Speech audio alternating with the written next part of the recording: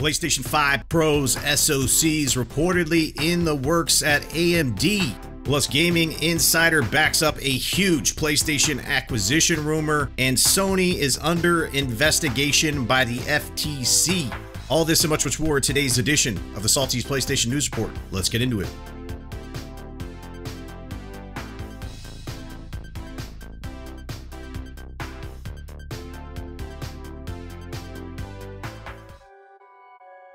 What's up, PlayStation Nation? Welcome to the Saltiest Gaming News Channel, your number one source for PlayStation news and rumors on YouTube. Before we get into today's first story, if you're here for the first time, welcome. Make sure to subscribe and hit the bell icon so you can stay up to date with all things PlayStation and PlayStation 5. In today's first story, another big name in the gaming industry has chimed in on rumors surrounding which gaming giant PlayStation 5 makers Sony will be acquiring next. In the beginning of this month, Square Enix revealed that it was selling off its Western division. Studios like Crystal Dynamics, Eidos Montreal, and the likes, including 50 IPs to the Embracer Group. What really caught the attention is that it was only worth $300 million. That's a bargain considering today's market for huge publishers being sold or just straight developers like Sony's acquisition of Bungie for $3.6 billion.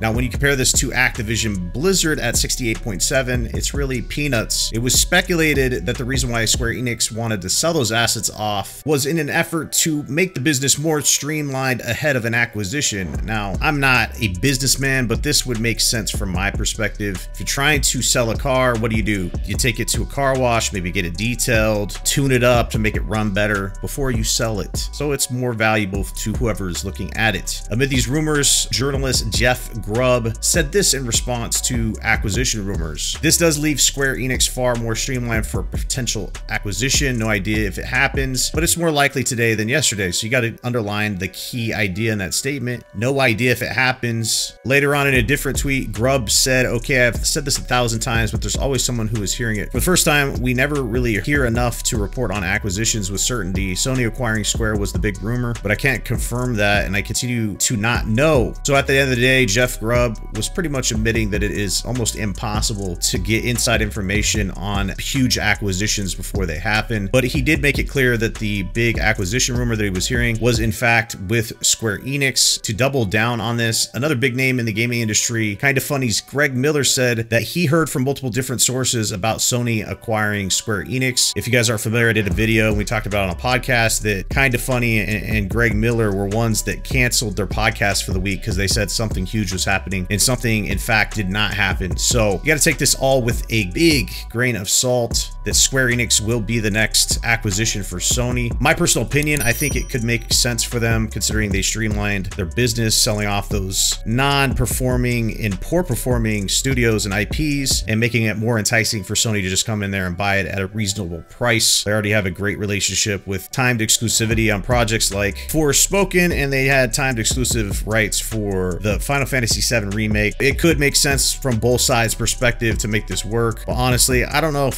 Sony's to be going here. I think they might go some other direction, but I want to know from you guys, do you think Square Enix will be the next acquisition by Sony? Why or why not? And if it's a no for you, who will be the next acquisition? Let's talk about it. In other news, it looks like the next gen PlayStation SoCs are in the works over there at AMD. It's been revealed that the team behind the SoCs for the PlayStation and Xbox hardware, AMD, are hiring for a verification engineer for a next generation chip. A job posting was listed on LinkedIn and it had the following. The team behind the chip powering Xbox, PlayStation, and the latest RDNA family graphics chip is hiring for its Markham location in Canada for the next generation chip development project. We're currently looking for a system on chip verification engineer who will be part of a team working on a next generation of complex SoC design. The successful candidate will play a key role in the SoC verification, performing the following duties for functional power and performance aspects with simulation and hardware emulation environment. Considering the generation didn't start too long ago in 2020, I am very hard pressed to think that this is the next generation of Xbox and PlayStation because how long is this generation truly going to last? I think it's going to be a lot longer than that. So a betting man would think that these chips are going to be for the mid-gen refreshes for Xbox and PlayStation. Digital Foundry has come out in multiple videos, specifically one on Unreal Engine 5 and spoke on the fact that the CPUs in the PlayStation 5 and Xbox are not up to snuff to run engines like Unreal Engine 5 at 60 to 120 frames per second. And more than likely because of the lack of power, they're going to have to be running these games at 30 frames per second. And it just boggles my mind that in 2022, we're still running games at a horrible 30 frames per second. Once you experience games at that 60 to 120 frames per second level, and then you go back to that peasant level 30 frames per second, it's both jarring and just not pleasing to play. During this generation, I've kind of become a snob when it comes to FPS because once you play some of these games that you used to play at 30 frames per second, then they get that juicy PlayStation 5 update. Man, it is jarring to go back. Specific example be God of War. When they gave that 60 frame update, I went and played it, and then I try to go back. I'm like, nope, nope, I'm, I'm here. I'm at 60 frames per second. So I think that this is specifically for the mid-gen refreshes. We'll probably be getting them, I don't know, two years from now, something like that. And I, I probably think that this generation is going to be extended out based on the lack of chip availability in the beginning years, chip shortages, not being able to get the product out at the pace that PlayStation wants to. PlayStation 4 is still going strong, and that launched in 2013, and we're uh, almost at 10 years for that console. And I could definitely see the PlayStation 5 generation extending into 10 years as well with a mid-gen refresh. But I want to know from you guys, do you think this job listing for a, a next-gen PlayStation and Xbox SoCs is in regards to a mid-gen refresh or the next gen? Let's talk about it. And the last bit of news, Sony looks like they're under investigation by the FTC. If you guys have been living under a rock, Sony made a huge splash in an acquisition of the great Bungie for a shocking $3.6 billion. Yeah, that's with the B for one studio. When you get into this high level of spending for acquisitions, then the FTC, the Federal Trade Commission, gets involved. The FTC has had their microscope out when Microsoft was involved with the huge acquisition of Activision for nearly $70 billion. So when this happened, I just really wasn't expecting something like this. But I think it's not really anything to be worried with because it's just what happens when you have this high level of an acquisition with this much money involved. Now, when it comes to the Microsoft acquisition, a lot more eyes are on it. It's a lot more scrupulated, a lot more red tape to pass through. But for both instances, it's unlikely that the acquisitions will be blocked, specifically PlayStation